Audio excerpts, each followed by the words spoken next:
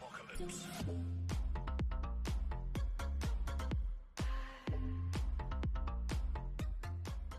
होता तो free radical बनाना है सो ऑब्वियसली कोई अगर लिविंग बॉडी है तो उसमें रिएक्शंस होंगी मेटाबॉलिक रिएक्शन होगी और मेटाबॉलिक रिएक्शन होगी तो हाईली रिएक्टिव ऑक्सीजन मॉलिक्यूल भी बनेगा और वो जो ऑक्सीजन मॉलिक्यूल बनेगा, वो ऑर्गेनिक कंपाउंड के साथ कंबाइन होके फ्री रेडिकल का प्रोडक्शन भी करेगा।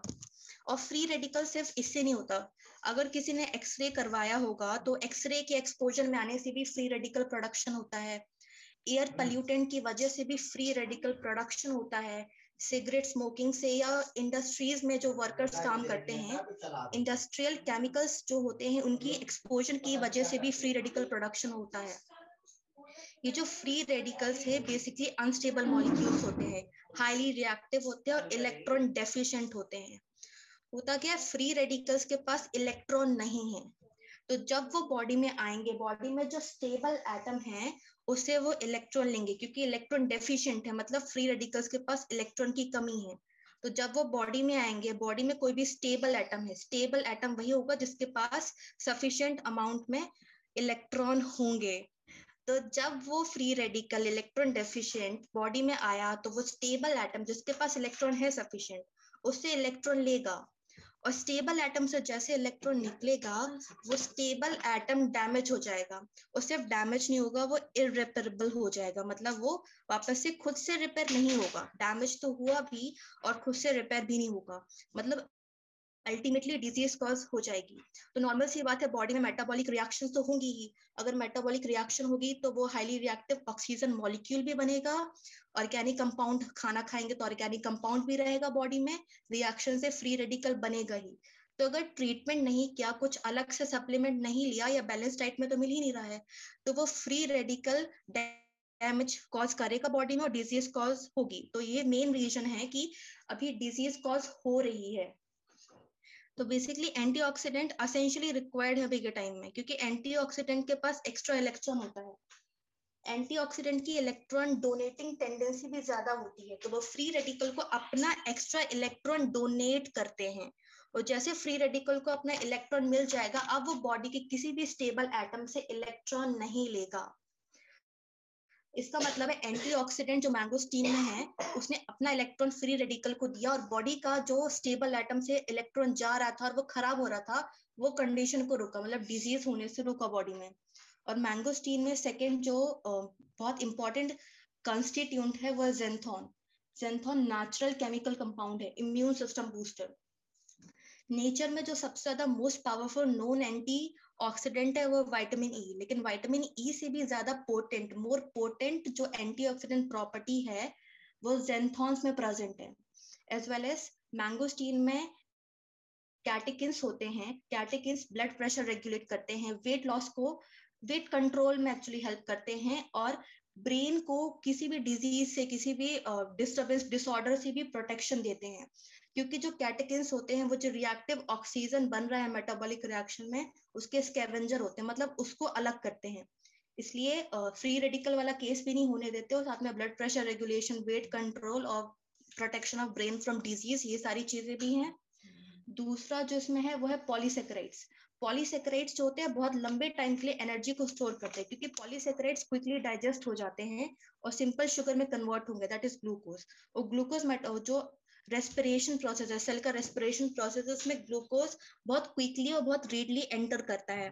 तो उसकी एटीपी फॉर्मेशन ये फास्ट हो जाएगा एटीपी दैट इज़ सेल की एनर्जी तो पॉलीसेक्राइड जो मैंगोस्टीन में है उनसे एक लॉन्ग टर्म एनर्जी ज़्यादा समय तक के लिए एनर्जी मिलती है, साथ में स्ट्रक्चरल स्टेबिलिटी भी मिलती है सेलुलोज और काइटिन के प्रेजेंस की वजह से as well as polysaccharide blood का शुगर लेवल भी मेंटेन करता है ग्लूकोज का अमाउंट बैलेंस करके। ज़्यादा है तो कम कर देगा, कम है तो ज़्यादा कर देगा। ब्लड में शुगर का लेवल मेंटेन होता है पॉलीसेक्राइड से।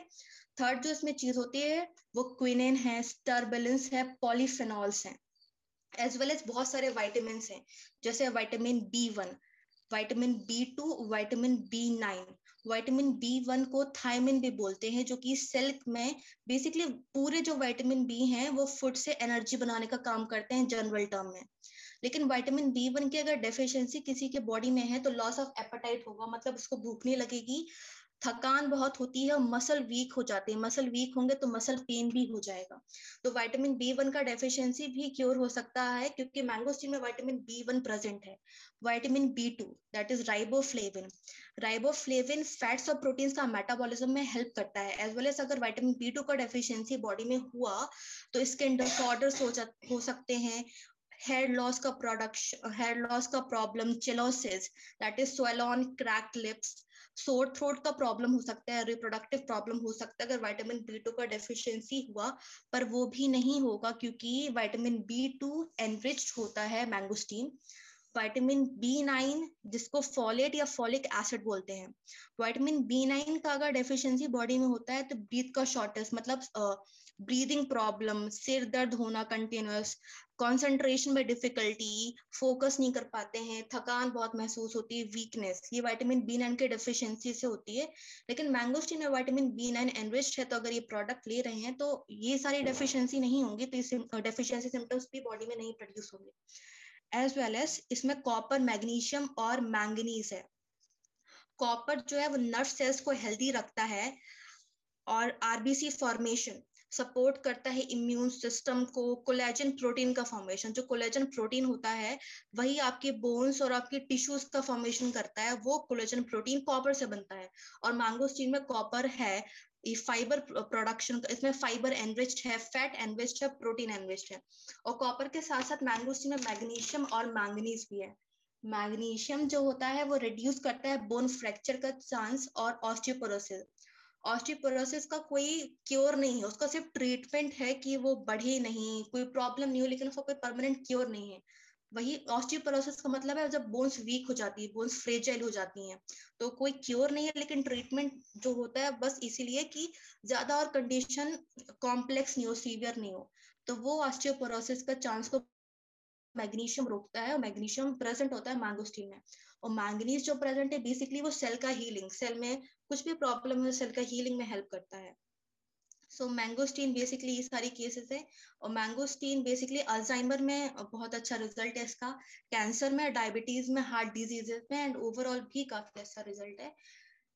सेकेंड uh, इंग्रेडिएंट है माका रूट माका रूट पेरू कंट्री में मिलता है इसका साइंटिफिक नेम है Lepidium meyenii marker basically energy improvement stamina improvement stamina मतलब बॉडी की एबिलिटी फ़िज़िकल वर्क करना मेंटल वर्क करना, कितना मेंटल वर्क कितना फ़िज़िकल वर्क बॉडी एक टाइम में कर सकती है, वही है स्टेमिना तो स्टेमिना को बूस्ट करता है मार्कर रूट एनर्जी को इम्प्रूव करता है.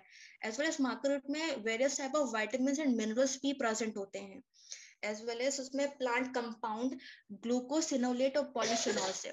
जो ग्लिकोसिनोलेट है, उसके पास एंटीबायोटिक लाइक प्रॉपर्टी होती है। एंटीबायोटिक मतलब जो जर्म्स के अगेंस्ट किसी भी पैथोजन के अगेंस्ट एक्ट करता है एज वेल एज जो भी बैक्टीरिया का अगर कोई इन्फेक्शन है वायरल का कोई इन्फेक्शन फंगल इन्फेक्शन कुछ भी अगर इंटेस्टाइन में हो रहा होगा तो ग्लूकोसिनोलेट उसको दूर करता है। वो इन्फेक्शन होने नहीं देता इंटेस्टाइन में। तो ग्लूकोसिनोलेट माकरूट में नेचुरली प्रेजेंट है। पॉलीफेनॉल्स ब्लड प्रेशर रेगुलेट करता है और ब्लड वेजल्स को फ्लेक्सिबल बनाता है हेल्दी क्योंकि ब्लड वेजल्स अगर टफ हो जाएँगी फ्लेक्सिबल अगर वो कम रहेंगी तो हेमरेज का चांस बढ़ जाएगा, लेकिन पॉलीफेनॉल्स जो मार्कर रूट में प्रेजेंट है नेचुरली वो ब्लड वेजल्स को फ्लेक्सिबल बनाता है हेल्दी बनाता है और एक गुड ब्लड सर्कुलेशन को एनहेंस करता है as well as polyphenols blood के शुगर लेवल को भी कंट्रोल करता है। ब्लड में ग्लूकोज ज़्यादा हो तो कम कर देगा, कम हो तो ज़्यादा। ब्लड शुगर लेवल को कंट्रोल करेगा। एज वेल एज पॉलीफेनॉल जो माँ का रूट है, वो बोन हेल्थ को प्रमोट करेगा क्योंकि ये बोन डेंसिटी इंप्रूव करता है। बोन डेंसिटी इंप्रूव हो जाएगी तो बोन हेल्थ टीथ ये सारे प्रॉपर कंडीशन में रहेंगे। एज वेल एज अगर वाउंड में भी हीलिंग प्रॉपर्टी मार्कर रूट में बहुत ज़्यादा होती है, कहीं भी आपको कुछ भी चोट लगी हुई है तो उसका हीलिंग उसका रिकवरी पीरियड कम कर देगा, बहुत जल्दी रिकवरी होगा क्योंकि इसमें हीलिंग प्रॉपर्टी है। एज वेल एज मेमोरी को एनहेंस करता है फोकस को एनहेंस करता है स्किन प्रॉब्लम्स क्योर करता है, रिप्रोडक्टिव प्रॉब्लम्स क्योर करता है और हार्मोन डेफिशिएंसी से जो सारे सिम्टम होते हैं, किसी भी हार्मोन का बॉडी में अगर डेफिशिएंसी होता है तो बहुत सारे सीवियर सिम्टम्स होते हैं। तो हार्मोन डेफिशिएंसी के जितने भी सिम्टम्स होते हैं, सबको माँ का रूट कम्प्लीटली रिड्यूस करता है एंड काफ़ी बेनिफिट होता है हार्मोन केस में। थर्ड इंग्रेडिएंट है साइबेरियन जिनसे। साइबेरियन जिनसे को 2000 सालों से यूज़ किया जा रहा है। क्योंकि साइबेरियन जिनसे सबसे इंपॉर्टेंट है फटीक में हेल्प करता है। किसी को थकान वाला कंडीशन है तो साइबेरियन जिनसे अगर इनटेक हो रहा है बॉडी में तो उससे फटीक मतलब थकान नहीं होगी। आर्थराइटिस के केस में बहुत हेल्पफुल है और लोअर बैक में अगर कंटिन्यूसली स्ट्रेट पोजीशन में बैठे हुए हैं या पॉस्चर सही नहीं है तो उसकी वजह से लोअर बैक में जो पेन होता है, वो पेन में भी हेल्प करता है Siberian ginseng and according to research ये माना जाता है कि ये इंटरफेरॉन का सिंथेसिस इंक्रीज करता है। इंटरफेरॉन पावरफुल केमिकल्स होते हैं जो कि इम्यून सिस्टम को बूस्ट करते हैं। वही इंटरफेरॉन का प्रोडक्शन इंक्रीज करता है Siberian ginseng according to research Siberian ginseng में पॉलीसेक्राइड्स है। पॉलीसेक्राइड जो कि स्पेशल डब्ल्यूबीसी मतलब मैक्रोफेजेस की एक्टिविटी इंक्लूड करते हैं। मैक्रोफेजेस ब्लड में होते हैं। जब भी, कोई बाहर से कोई पैथोजन कोई डिज़ीज़ कॉजिंग ऑर्गेनिज्म अगर ब्लड में आएगा तो मैक्रोफेजेस उसको एनगल्फ करता है उसको मतलब खा लेता है। और जैसे उसको खाएगा उसके उस, पूरा उसका खाने के पास वो सिग्नल भेजता है टी हेल्पर सेल को। T helper cell B lymphocyte को एक्टिवेट करते हैं और टी किलर को एक्टिवेट करते हैं। बी सेल्स जो होते हैं, वो एंटीबॉडीज प्रोडक्शन करते हैं, वो फॉरन सब्सटेंस को खत्म कर देते हैं। और टी किलर भी अपने अकॉर्डिंग वो फॉरन सब्सटेंस को खत्म करता है। बेसिकली साइबेरियन जिनसे ब्लड में लिम्फोसाइट भी बढ़ाता है। लिम्फोसाइट इंक्रीज होंगे तो ब्लड में C D four count increase होगा। और C D four count essential होता है नॉर्मल बॉडी फ़ंक्शन के लिए नॉर्मल सेल फ़ंक्शन के लिए। As well as Siberian ginseng memory increase करता है कंसंट्रेशन इंक्रीज करता है। हाई कोलेस्ट्रॉल को ब्लॉक करता है, क्योंकि कोलेस्ट्रॉल हाई होगा तो ब्लड फ्लो में प्रॉब्लम होगी और बहुत सारी सीवर कंडीशन कोलेस्ट्रॉल की वजह से आता है, उसी हाई कोलेस्ट्रॉल को ब्लॉक करता है साइबेरियन जिनसे एज वेल एज इंक्रीज करता है cardiovascular performance anti inflammatory inflammation आ रही, कभी भी पैथोजन बॉडी में एंटर करता है ब्लड में एंटर करता है तो इन्फ्लेमेशन कॉज होता है, सूजन आती है वहाँ पे और प्रोस्टाग्लैंडिन रिलीज़ होते हैं। प्रोस्टाग्लैंडिन जो कि थ्रेश ऑफ़ पेन रिसेप्टर कम करते हैं मतलब हल्का सा भी आप वहाँ पे छूगे बहुत ज़्यादा दर्द होगा। तो ये एंटी इन्फ्लेमेशन है, सूजन को रोकता है इन्फ्लेमेशन ही नहीं होने देता। As well as stress condition का रजिस्टेंस है resistance to stress stress condition नहीं होने देता है। And elderberry fourth is elderberry elderberry basically flavonoids है. एल्डरबेरी कंटेन्स फ्लेवेनोइड्स फ्लेवेनोइड्स जो है बेसिकली रिड्यूस करते हैं रिएक्टिव ऑक्सीजन प्रोडक्शन जो मेटाबॉलिक रिएक्शन असेंशियल बॉडी में चल रही है, उनसे रिएक्टिव ऑक्सीजन प्रोड्यूस हो रहा है। वो ऑक्सीजन को, वो रिएक्टिव ऑक्सीजन को फ्लेवेनोइड रिड्यूस करते हैं।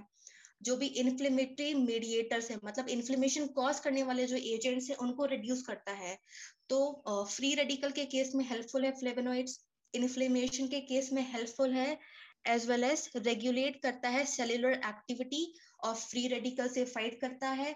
ब्लड क्लॉटिंग को प्रिवेंट करता है ब्लड क्लॉट नहीं होने देता है, और blood flow to the brain and the heart increase करता है। क्योंकि अगर ब्रेन में ब्लड फ्लो सफिशियंट अमाउंट में नहीं होगा तो पूरा बॉडी का फंक्शनिंग नहीं होगा। तो ये ब्रेन में हार्ट में ब्लड फ्लो को इम्प्रूव करता है ब्लड क्लॉट को कहीं भी होने देता ब्लड क्लॉट को प्रिवेंट करता है। As well as elder berry naturally diuretic और डाईएफोटिक है। डायूरेटिक का मतलब है जो रिलीज़ ऑफ़ यूरिन ज़्यादा करता है सो दैट टॉक्सिक अमाउंट जो है, वो बॉडी से बाहर चला जाए। और ये बेसिकली डायरेटिक कंडीशन जो है हाई बीपी को ट्रीट करने के लिए होता है to get rid of extra fluid body से जो भी एक्स्ट्रा फ्लूड है, जो भी टॉक्सिन है, वो बाहर चला जाए। और diaphoretic that is sweating perspiration और स्वेटिंग से केस में भी यूरिन के केस में भी जो बॉडी का टॉक्सिक है, जो एक्स्ट्रा फ्लूड है, वो बॉडी से बाहर जाता है। एल्डरबेरी का स्किन में बहुत अच्छा इफ़ेक्ट है क्योंकि elderberry contains vitamin A retinol vitamin A wrinkles prevent करते हैं as well as vitamin A normal vision के लिए भी असेंशियल है. आईज हेल्दी होती है अगर वाइटामिन ए का कंसंट्रेशन बॉडी में सही है, और as well as for good immune system जो एल्डरबेरी है, वो कोल्ड और फ्लू से भी बॉडी का प्रोटेक्शन करता है. मतलब कोल्ड और फ्लू जो इतना रैपिडली किसी को भी हो जाता है, वो नहीं होता एज वेल एज प्रिवेंट करता है कैंसर से और प्रिवेंट करता है एलर्जी से। नेचुरली लेग्जेटिव भी elderberry is naturally laxative laxative का मतलब रिलीफ फ्रॉम कॉन्स्टिपेशन का प्रॉब्लम भी एल्डरबेरी सॉल्व करता है। Fifth ingredient is raspberry raspberry में नेचुरली जियाजेंथिन है zeaxanthin is a type of antioxidant जो कि आई को प्रोटेक्शन देता है। आई का प्रोटेक्शन क्योंकि जो जितनी भी डिजिटल स्क्रीन है लाइक टीवी कंप्यूटर या लैपटॉप या स्मार्टफ़ोन एंड इसका सबसे इंपॉर्टेंट सोर्स है सन इन सबसे ब्लू लाइट रेज इमर्ज होते हैं। जो ब्लू लाइट रेज हैं, वो क्या करती है? ब्लड वेशल्स को खराब करती हैं। ब्लड वेशल्स अगर नॉर्मल कंडीशन में नहीं होंगी तो वो फ्लूड को या फिर ब्लड को मैकुलर पार्ट में रिलीज़ करेंगी। मैकुलर पार्ट रेटिना में है। वहाँ पे रिलीज़ करेंगे अगर वहाँ पे एक्सेसिव फ्लूड या फिर ब्लड अगर जाके इकट्ठा हो गया एक्यूमुलेट हो गया तो ब्लड विजन वाला केस बन जाएगा। आँखों में दर्द होना स्टार्ट हो जाएगा सूखी आँख होना स्टार्ट हो जाएगा macular degeneration macular degeneration basically हो जाएगा और अगर इसको ट्रीट नहीं किया गया तो कभी कभी कंप्लीट ब्लाइंडनेस वाला कंडीशन भी इसमें बन सकता है। ब्लू लाइट रेस की वजह जैसे। लेकिन जो रेस्पबेरी है, वो ब्लू लाइट रेस को फ़िल्टर करता है। मतलब जो blue light rays digital screen या फिर सन से जो जा रही है, उनको फ़िल्टर करेगा, जाने नहीं देगा डायरेक्ट। मतलब ब्लर विजन को भी प्रिवेंट करेगा, आई स्ट्रेन को भी प्रिवेंट करेगा, ड्राई आई को भी प्रिवेंट करेगा और मैक्यूलर डी जनरेशन को भी प्रिवेंट करेगा। एज वेल एज रेस्पबेरी में कैंसर प्रिवेंशन भी कैंसर प्रिवेंशन एबिलिटी है। Raspberry contains vitamin C. And gallic acid gallic acid जो है, वो उसके पास naturally antioxidant anti inflammatory anti neoplastic property है। एंटीऑक्सीडेंट वो जो फ्री रेडिकल को बॉडी से रिमूव करने में हेल्प करती है। फ्री रेडिकल बॉडी पे अटैक नहीं करे, उसे रोकती है। एंटी इन्फ्लेमेटरी जो बॉडी में इन्फ्लेमेशन नहीं होने देगा। और एंटी न्यूप्लास्टिक बेसिकली जो कैंसर ट्रीटमेंट में कीमोथेरेपी में हेल्प करते हैं, वो एंटी न्यूप्लास्टिक गॉलिक एसिड में है। And gallic acid naturally present है रेस्टबेरी में। दैट इज़ कैंसर ट्रीटमेंट में कैंसर प्रिवेंशन में काफ़ी हद तक ये हेल्पफुल होता है। And vitamin C vitamin C collagen production में बहुत important and vital role play करता है। कोलाजन जो प्रोटीन है वो स्किन का 75 परसेंट प्रोडक्शन करती है। वो कोलेजन प्रोटीन प्रोड्यूस होता है विटामिन सी से। और विटामिन सी भी नेचुरली रसबेरी में भी प्रेजेंट है मैंगोस्टीन में भी प्रेजेंट है। जो विटामिन सी है वो एज वेल एज जो सन की वजह से uh, कई बार जो स्किन डैमेज हो जाती है वो स्किन डैमेज को सिर्फ़ प्रिवेंट नहीं करता रिपेयर भी करता है। एज वेल एज रेस्टबेरी में बायोटिन है। बायोटिन मतलब B seven vitamin B seven जो कि कैरेटिन प्रोडक्शन एनहेंस करता है। कैरेटिन प्रोटीन का जब प्रोडक्शन इंक्रीज होगा तो फॉलिकल ग्रोथ इंक्रीज होगा। फॉलिकल ग्रोथ इंक्रीज होगा तो हेयर ग्रोथ इंक्रीज हो जाएगा। Good hair shiny hair healthy hair ये सब रेस्टबेरी में मिलते हैं, क्योंकि इसमें vitamin B seven biotin present है। Six ingredient is sour cherry sour cherry is a fruit sour cherry का जो इम्पोर्टेंट फ़ंक्शन है, वो डाइजेशन में है। सॉर्ट चेरी डाइजेशन में भी हेल्प करता है प्रॉपर एक healthy digestion urine production increase करता है सो दैट के बॉडी का जो टॉक्सिन है, वो यूरिन के थ्रू बॉडी से बाहर चला जाए। हार्ट हेल्थ को एक हेल्दी हार्ट रखने में हेल्प करता है स्ट्रेंथन करता है हार्ट की एक्टिविटी को कैंसर प्रिवेंशन में हेल्प करता है और इन्फ्लेमेशन एंटी इन्फ्लेमेटरी है सॉर्ट चेरी एंटीऑक्सीडेंट प्रॉपर्टी हर एक इंग्रेडिएंट में प्रेजेंट है सॉर्ट चेरी में भी है। सॉर्ट चेरी पोटेशियम और आयरन रिच है। जो पोटेशियम होता है, वो बॉडी में फ्लूड बैलेंस मेंटेन करता है। किसी भी फ्लूड का ना ही एक्सेस ना ही डेफिशिएंसी फ्लूड का particular balance as well as muscle contraction क्योंकि पोटेशियम का डेफिशिएंसी होगा तो मसल कंट्रैक्शन में प्रॉब्लम होगा। लेकिन पोटेशियम एनरिच्ड है स्वॉट चेरी तो मसल कंट्रैक्शन भी इससे नॉर्मल होता है और नर्व सिग्नल नर्व कंडक्शन में पोटेशियम का बहुत इंपॉर्टेंट रोल है सोडियम पोटेशियम पंप तो पोटेशियम रिच है शॉर्ट चेरी तो नर्व सिग्नल भी प्रॉपर होते हैं प्रॉब्लम नहीं जाती उसमें। As well as kidney stone को प्रिवेंट करता है ऑस्टियोपोरोसिस जिसमें बोन्स वीक फ्रेजाइल होती हैं, और ऑस्टियोपोरोसिस का ट्रीटमेंट भी नहीं है मतलब कोई क्योर नहीं है, सिर्फ़ ट्रीटमेंट है उसको बढ़ी नहीं। तो वो ऑस्टियोपोरोसिस को भी सॉर्ट चेरी ने प्रिवेंट किया और स्ट्रोक जब भी ब्लड सप्लाई अगर ब्रेन को कम है या कुछ बेरियर की वजह से इंटरप्टेड है सफिशिएंट अमाउंट अगर नहीं पहुँच रहा है ब्रेन में ब्लड का तो स्ट्रोक कंडीशन अराइज होती है। लेकिन शॉर्ट चेरी अगर इनटेक पूरा है बॉडी में तो स्ट्रोक कंडीशन भी अवॉइड हो जाएगी। तो sour cherry next is black currant black currant is very popular in preventing Alzheimer disease Alzheimer disease जो ऑटो अल्जाइमर डिज़ीज़ बेसिकली क्या होता है? जो मेमोरी सेल्स ब्रेन सेल्स हैं, वो प्रॉपर फंक्शनिंग नहीं करते हैं। और मेमोरी प्रॉब्लम होता है और फोकस कंसंट्रेशन का प्रॉब्लम होता है अल्जाइमर में तो अल्जाइमर को बेसिकली प्रिवेंट करने के लिए अल्जाइमर डिज़ीज़ बॉडी में नहीं हो, वो ब्लैक करेंट उसमें हेल्पफुल है एज वेल एज आर्थराइटिस के प्रॉब्लम में काफ़ी हेल्पफुल है, और गाउट जो बोलते हैं कि इन्फ्लेमेशन हाईली मतलब सीवियर केस ऑफ़ आर्थराइटिस वो है गाउट गाउट में बेसिकली यूरिक एसिड का एक्यूमुलेशन ज्वाइंट में होता है। क्योंकि जो भी फ़ूड इनटेक कर रहे हैं, उसमें प्यूरिन्स हैं। और प्यूरिन्स जब बॉडी में आएँगे फ़ूड के थ्रू तो वो ब्रेक डाउन होंगे। और प्यूरिन्स के ब्रेक डाउन से यूरिक एसिड का फॉर्मेशन होता है। यूरिक एसिड जब बॉडी में ज़्यादा हो जाते हैं तो वो कंडीशन होती है हाइपर यूरेमिया पर हाइपर यूरेमिया का कंडीशन ये नहीं है कि सबको गाउट की प्रॉब्लम हो जाएगी। लेकिन गाउट का जो चांसेस है, वो बेसिकली ज़्यादा होते हैं मेल्स ओबेस पर्सन में अगर वेट ज़्यादा है, अगर हाई बीपी किसी पर्सन को है तो उसके केस में अगर यूरिक एसिड ज़्यादा होगा तो गाउट का कंडीशन बनेगा। किसी डायबिटिक पेशेंट में या किडनी फॉर्मेशन किडनी का फ़ंक्शन प्रॉपरली नहीं हो रहा है तो यूरिक एसिड बॉडी में बढ़ेगा। तो उसकी वजह से भी गाउट हो सकता है, या एल्कोहल ड्रिंकिंग के केस में भी गाउट हो सकता है। उसमें बेसिकली एक बार में एक ही ज्वाइंट में पेन होता है, क्योंकि यूरिक एसिड एक्यूमुलेट हो जाता है। बेसिकली गाउट का कंडीशन है ब्लैक करंट आर्थराइटिस को भी प्रिवेंट करता है गाउट को भी प्रिवेंट करता है लिवर की जितनी भी प्रॉब्लम्स है टॉक्सिसिटी उसका ऑक्सीडेशन वो सारी चीज़ें प्रिवेंट करता है डायरिया को प्रिवेंट करता है मीनोपोज को प्रिवेंट करता है, उसमें हेल्पफुल है बेसिकली इन सारी कंडीशन में। और एंटी बैक्टीरियल है, किसी बैक्टीरिया का इन्फेक्शन अगर इन्वेशन बॉडी में हो रहा होगा तो उसके अगेंस्ट ब्लैक करंट काम करेगा। कोई भी वायरल इन्फेक्शन अगर बॉडी में हो रहा होगा तो उसके अगेंस्ट ब्लैक करंट काम करेगा। एंटी वायरल है। एंटी वायरल होने का मतलब है कि कैंसर का जो भी ग्रोथ बॉडी में हो रहा होगा, उसको स्लो डाउन कर देगा, क्योंकि ये एंटी वायरल है। एंटीऑक्सीडेंट सभी इंग्रेडिएंट में एंटीऑक्सीडेंट प्रॉपर्टी है, जो फ्री रेडिकल से बॉडी को प्रोटेक्शन देती है। एज वेल एज जो ब्लैक करंट है, वो आई डिज़ीज़ को प्रिवेंट करता है।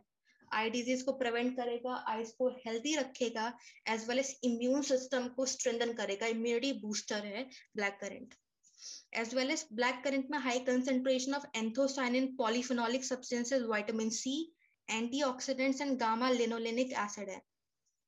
जो एंथोसाइनिन हाई कंसेंट्रेशन है ब्लैक करेंट में एंथोसाइनिन का, वो एंथोसाइनिन एंटी डायबिटिक है डायबिटीज़ को प्रिवेंट करने में हेल्पफुल है एंटी कैंसरस है कैंसर को प्रिवेंट करने में हेल्पफुल है एंटी इन्फ्लेमेटरी इन्फ्लेमेशन सूजन बॉडी में नहीं होने देता एंटी माइक्रोबियल है, कोई भी माइक्रोब का इन्वेशन इन्फेक्शन बॉडी में होने से रोकता है एंटी ओबेसिटी है।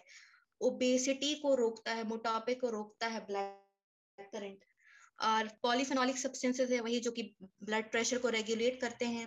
विटामिन सी है एंटीऑक्सीडेंट है and G L A G L is gamma linolenic acid gamma linoleic acid basically fatty substance होते हैं, जो कि स्क्लेरोसिस जोरियासिस और एजेमा में अफेक्ट करते हैं। Sclerosis basically auto immune disorder है, जिसमें कि जो नर्व सेल का कवरिंग होता है फैटी सब्सटेंस से माइलिन शीट से, उसको ही वो माइलिन शीट को ही रिमूव हो जाता है स्क्लेरोसिस में।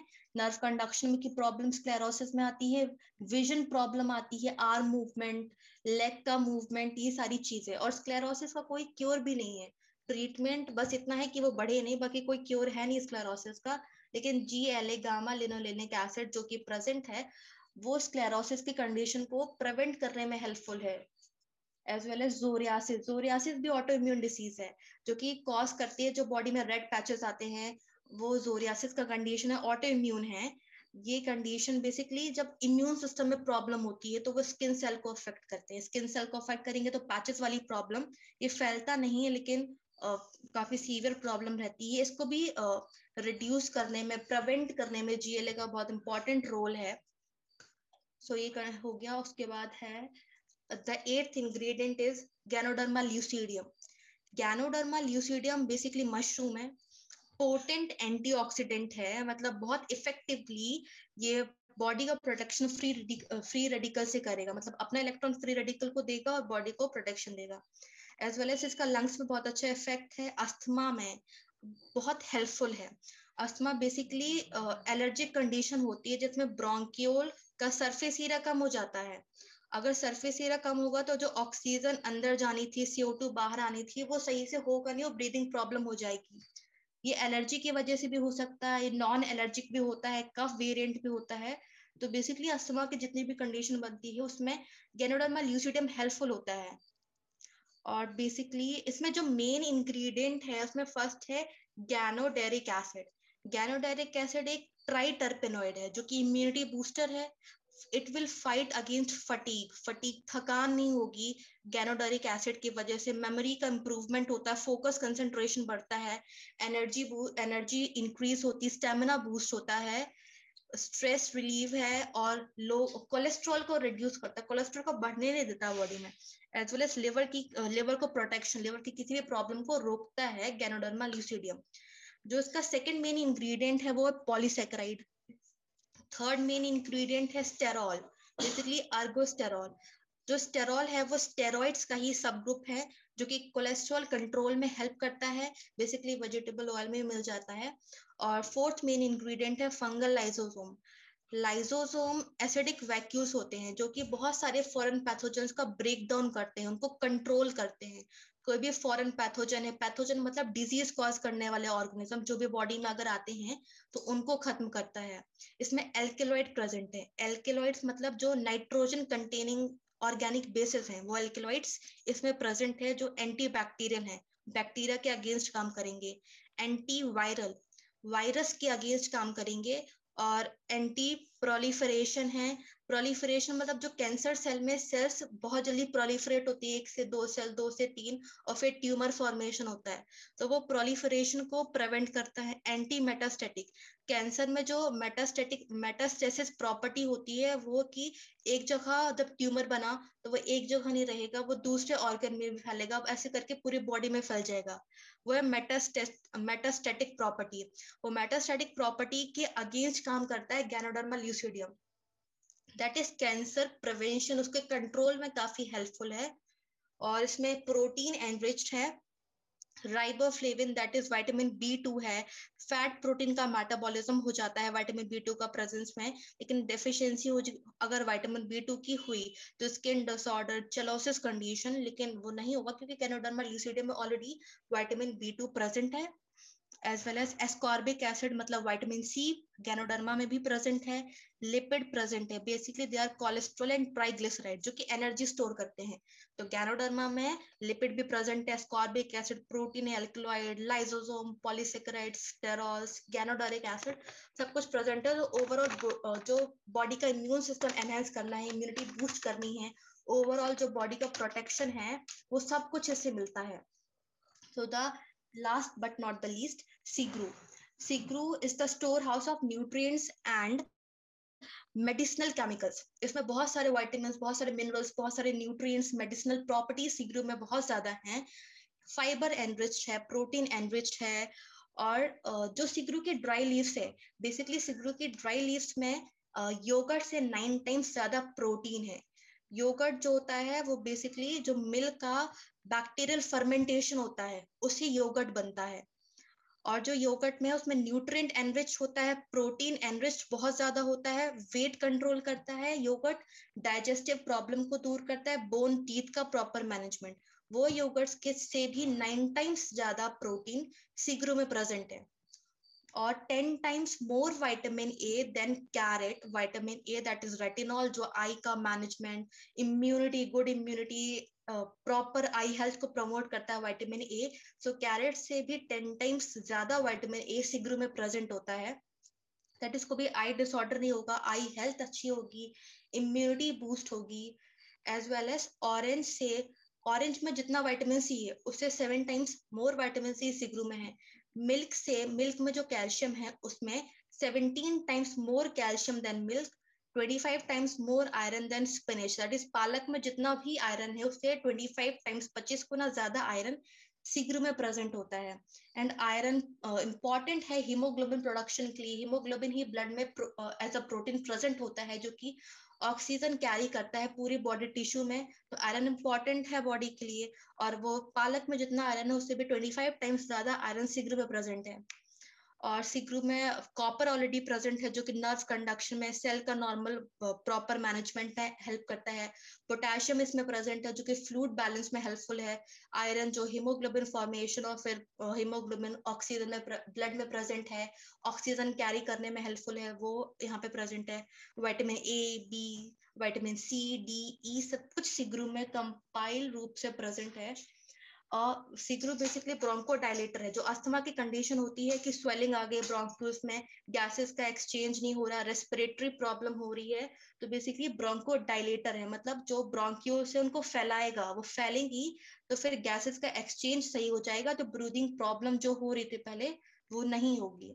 और एंटी बैक्टीरियल है मतलब बेसिकली अस्थमा एलर्जी है, जो भी मीडिएटर्स है अस्थमा अस्थमा के जो एलर्जी कॉज कर रहे हैं उनको रोकता है एज वेल एज जो सिगरू है, वो रेटिनोपैथी को स्टॉप करता है। रेटिनोपैथी मतलब वही है जो ब्लड वेजल्स में जब भी इन्फ्लेमेशन होगा ब्लड वेजल्स में अगर इन्फ्लेमेशन होगा तो फ्लूड लीकेज होगा ब्लड लीकेज होगा और उसकी वजह से रेटिनोपैथी का रेटिनोपैथी कंडीशन बनेगी। मतलब कंप्लीट ब्लाइंडनेस भी हो सकता है। तो वो रेटिनो रेटिनोपैथी को स्टॉप करता है सिग्रू। एज वेल एज इसमें पॉलीफेनॉल्स का कंसेंट्रेशन भी हाई है। पॉलीफेनॉल्स का हाई कंसेंट्रेशन की वजह से ये लिवर टॉक्सिसिटी लिवर का ऑक्सीडेशन इन सबको प्रिवेंट करता है और लिवर प्रोटेक्शन में बहुत हेल्पफुल है। सिग्रू का कंपाइल रूप से देखे फ़ंक्शन जो सिग्रू is helpful in regulating BP cholesterol level को रेगुलेट करता है इम्यून सिस्टम को एनहेंस करता है एंटी एजिंग है। सो so बेसिकली ये जो नाइन इंग्रेडिएंट है ये सेपरेटली भी बहुत हेल्पफुल है। सेपरेटली भी इम्यून सिस्टम को बूस्ट करेंगे इम्यूनिटी को बूस्ट करेंगे, लेकिन जब ये नाइन इंग्रेडिएंट पर्टिकुलर कंसेंट्रेशन में जब मिलाते हैं तो इनका जो फ़ंक्शन है, जो इनका जो एबिलिटी है, वो नंबर ऑफ़ टाइम्स एनहेंस हो जाता है, जो कि ब्रेनेटस नोवा में है। सो so, ये सारे जो इंग्रेडिएंट है बहुत हेल्पफुल है क्योंकि बैलेंस डाइट अभी तो एनवायरमेंट में जितना भी पोल्यूटेंट है जितना भी केमिकल है उससे बैलेंस डाइट मिलेगा नहीं। तो बट बैलेंस डाइट ज़रूरी है क्योंकि बैलेंस डाइट नहीं होगा तो पुअर न्यूट्रिशन होगा पुअर न्यूट्रिशन होगा तो इम्यूनिटी लो हो जाएगी। और इम्यूनिटी लो होगी मतलब बॉडी ऑर्गेन्स में डिसऑर्डर आएँगे फ़ंक्शन नहीं हो पाएगा। तो बैलेंस डाइट ज़रूरी है प्रॉपर न्यूट्रिशन कुछ फ़ूड सप्लीमेंट कुछ एक्स्ट्रा न्यूट्रिशन ज़रूरी है जो कि ये सारे नाइन इंग्रेडिएंट का कॉम्बिनेशन से मिल रहा है। सो so, आज के समय में बहुत असेंशियल है कि इन सारी चीज़ों को लिया जाए तभी प्रॉपर न्यूट्रिशन मिलेगा बॉडी को कंप्लीट न्यूट्रिशन मिलेगा। सो so, बेसिकली ये सारे इंग्रेडिएंट ज़रूरी हैं। सो थैंक यू अगर आप लोग को कुछ भी क्वेश्चन हो तो आप लोग पूछ सकते हैं। Thank you